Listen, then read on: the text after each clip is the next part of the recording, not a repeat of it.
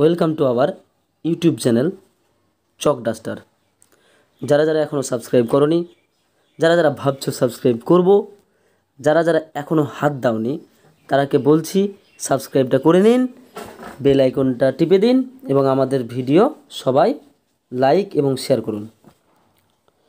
আজকে দশম শ্রেণির প্রথম চ্যাপ্টার, জীবন বিজ্ঞানের প্রথম চ্যাপ্টার, জীবজগতে নিয়ন্ত্রণ ও সমন্বয়। এই চ্যাপ্টার থেকে আমি টপ টোয়েন্টি এমসিকিউ বাছাই করে নিয়ে এসেছি তোমাদের জন্য, মাধ্যমিকের জন্য। এগুলা প্রায়ই আসে আমরা দেখে নিই প্রথম কোশ্চেন কী আছে। লজ্জাবতীর পাতায় হাত দিলে পাতাগুলি বুঝে যায়, এটা কোন ধরনের চলন? Option A photonasty option B thermonasty option C seismonasty যারা যারা উত্তর পারবে তারা কমেন্ট বক্সে লিখতে পারো। এবার উত্তর হয়ে যাবে আমাদের অপশন সি সিসমোনেস্টি দুই নম্বর কোশ্চেন উদ্দীপকের প্রভাবে উদ্ভিদের সারা প্রদান পদ্ধতিকে কি বলা হয়? অপশন এ সংবেদনশীলতা। অপশন বি স্নায়ুস্পন্দন। অপশন সি সংকোচনশীলতা। আমরা দেখে নিই। উদ্দীপক। উদ্দীপকের প্রভাবে উদ্ভিদ যে সারা প্রদান করে অবশ্যই তাকে বলা হয় সংবেদনশীলতা। তাহলে সঠিক উত্তর হয়ে যাবে কি? সংবেদনশীলতা। নিচের চলো, দেখে নিই জোসকে সাত তিন নাম্বার। নিচের কোনটি অন্তঃক্ষরা গ্রন্থি নয়? দেখো অপশন কি আছে? থাইরয়েড খ পিটুইটারি গ অ্যাড্রিনাল তোমরা উত্তর বলো, উত্তর হয়ে যাবে অ্যাড্রিনাল নেক্সট নেক্সট কোশ্চেন চার নাম্বার কোশ্চেন আপদকালীন হরমোন কোনটি? এটা একবারে ইজি কোশ্চেন এবং পরীক্ষায় সবসময় মাধ্যমিকে আসে। দেখো, কি অপশন দেওয়া আছে? থাইরক্সিন অ্যাড্রিনালিন ইনসুলিন তা সঠিক উত্তর হয়ে যাবে কি? অ্যাড্রিনালিন আপদকালীন হরমোন বলা হয় অ্যাড্রিনালিনকে পাঁচ নম্বর কোশ্চেন মস্তিষ্কের আবরণকে কি বলা হয়? মস্তিষ্কের আবরণকে কি বলা হয়?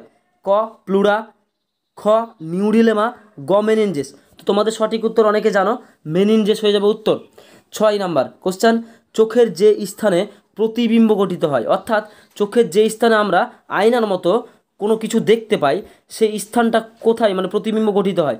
অপশন এ, অপশন ক, লেন্স, খ, রেটিনা, গ, কর্নিয়া। অবশ্যই সঠিক উত্তর হয়ে যাবে রেটিনা। তোমাদের অনেকের কমেন্ট করেছিল যে, স্যার, মস্তিষ্কের আবরণ, এই যেমন আমি কোশ্চেনটা দিয়েছিলাম, মস্তিষ্কের আবরণকে কী বলা হয়? মেনেঞ্জেস অনেকের অসুবিধা হয়, তার জন্য বিভিন্ন আবরণই জানার জন্য আমি একটা তোমাদের পিডিএফ বানিয়ে দিয়েছি। এটা দেখে দাও দেখো হৃৎপিণ্ড। হৃৎপিণ্ডের আবরণের নাম কি? হৃৎপিণ্ডের আবরণের নাম হচ্ছে পেরিকার্ডিয়াম এটা অবশ্যই মনে রাখবা, হৃৎপিণ্ডের আবরণের আবরণের নাম হচ্ছে পেরিকার্ডিয়াম ফুসফুসের আবরণের নাম কি?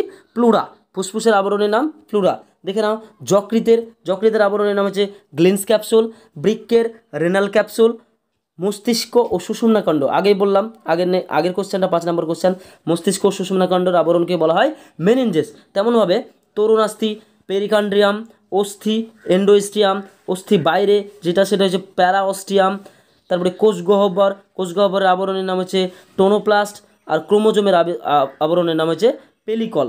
তাহলে এগুলো তোমাদের আমি সুবিধার জন্য সমস্ত আবরণীর অঙ্গগুলোর নাম, বিভিন্ন অঙ্গের যে আবরণীর নাম, সেগুলো তোমাদের দিয়ে দিলাম। তোমরা স্ক্রিনশট এটা রাখতে পারো। এবং আমাদের যদি অবশ্যই তোমাদের আরও কিছু জানার জন্য বা আরও কোনো আবরণের নাম জানতে চাও, আমাদের লাইক এবং কমেন্টে কমেন্টে জানাতে পারো। ভবিষ্যতে যে ভিডিও করব সেটাতে তোমাদের জানিয়ে দেবো। নেক্সট কোশ্চেন হলো সাত নাম্বার। অ্যামিবার গমনাঙ্গের নাম লিখো।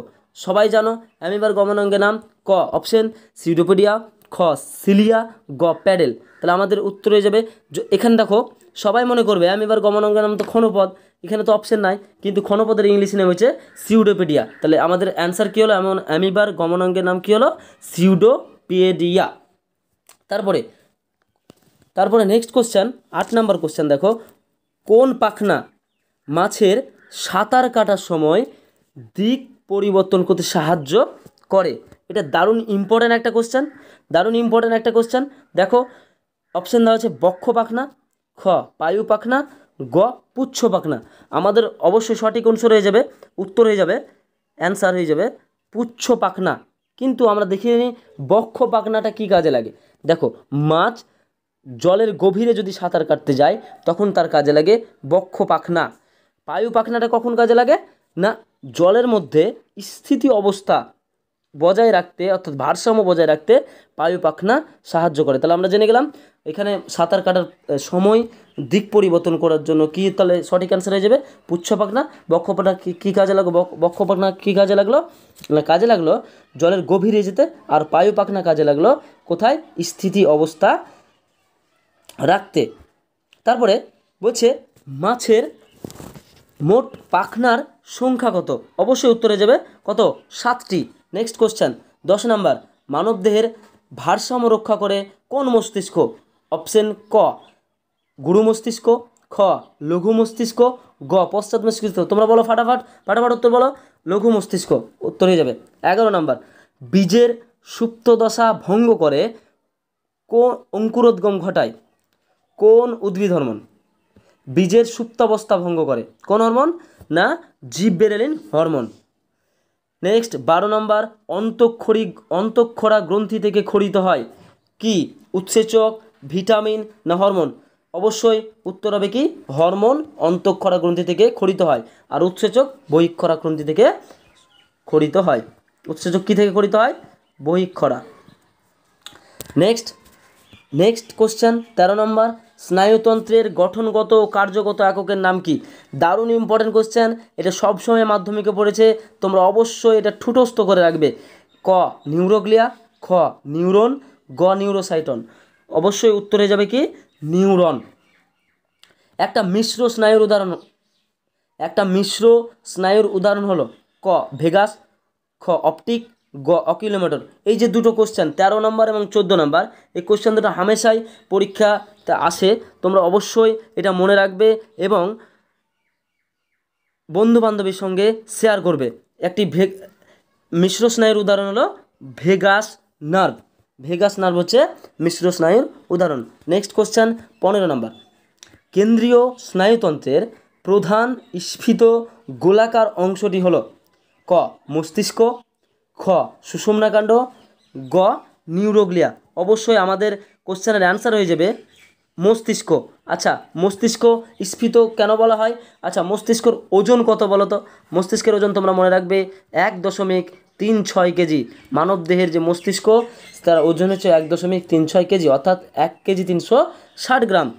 নেক্সট কোশ্চেন ষোলো, দেহ তাপমাত্রা নিয়ন্ত্রণকারী মস্তিষ্কের অংশটি হলো, অর্থাৎ কোন অংশটা মস- মস্তিষ্কের কোন অংশটি আমাদের দেহ তাপমাত্রাকে নিয়ন্ত্রণ করে?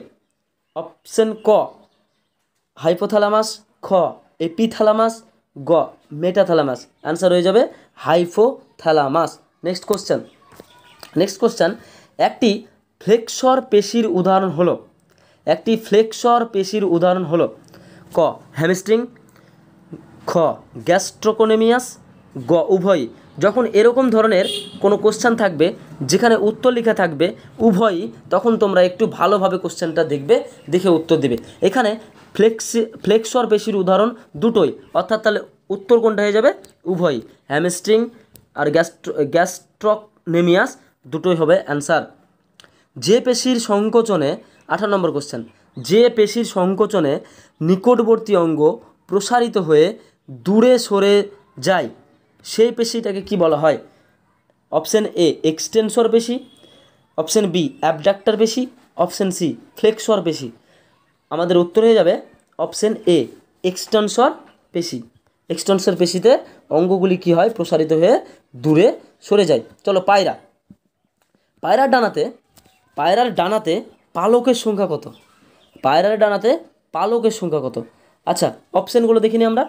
ক, তেইশটি। খ, বারোটি, গ, চোদ্দোটি। এই যে কোশ্চেনটা, উনিশ নম্বরের এই কোশ্চেন, দারুণ ইম্পর্টেন্ট কোশ্চেন, এটা গুলিয়ে যায় অনেক ছাত্রছাত্রী। তোমরাকে মনে রাখতে হবে, যেখানে পায়রা বলেছে, পায়রার কি চেয়েছে?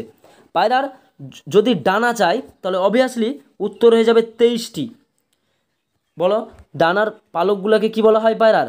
রেমিজেস কি বলা হয়? রেমি রেমিজেস রেমিজেস বলা হয় পায়রার ডানার পালকগুলিকে, যেটা তেইশটি থাকে। আর বারোটা কোথায় থাকে? না, বারোটা লেজে থাকে, যার নাম হচ্ছে রেকট্রিসেস। কি নাম? রেকট্রিসেস। এটা অবশ্যই তোমরা একবার দেখে রাখবে। দারুণ দারুণ ভেরি ভেরি ইম্পর্ট্যান্ট তাহলে পায়রার ডানাতে যে পালকের সংখ্যা থাকে, সেটা হয়ে যাবে আমাদের উত্তর ক। তেইশটি। Next question master of master gland বলা হয়। Master of master gland. ক থ্যালামাস খ হাইপোথ্যালামাস গ পিটুইটারি দেখো, মাস্টার অফ মাস্টার গ্ল্যান্ড এটা মানেটা কি? মিনিংটা কি? তোমরা সবাই উত্তরটা জানো। প্রভু গ্রন্থির প্রভু গ্রন্থি কাকে বলা হয়? অবশ্যই উত্তর হয়ে যাবে হাইপোথ্যালামাসকে যদি বলতো মাস্টার গ্ল্যান্ড, যদি বলতো মাস্টার গ্ল্যান্ড, শুধু মাস্টার গ্ল্যান্ড, তাহলে উত্তর হয়ে যেত কি? পিটুইটারি। পিটুইটারি হয়ে যেত উত্তর। কিন্তু এখানে কি বলেছে? মাস্টার অফ মাস্টার গ্ল্যান্ড অর্থাৎ প্রভু গ্রন্থির প্রভু গ্রন্থি ব- এ, তাই বলা হয় হাইপোথ্যালামাসকে আবারও বলছি তোমরা যারা আমাদের ইউটিউব চ্যানেল এখনও সাবস্ক্রাইব করনি তারা সাবস্ক্রাইব করে নাও। Class nine ten eleven twelve সমস্ত বিষয়ের পুঙ্খানুপুঙ্খভাবে আলোচনা এবং এমসিকিউ এসিকিউ সব ধরনের আলোচনা তোমরা এই ক্লাস থেকে জানতে পারবে।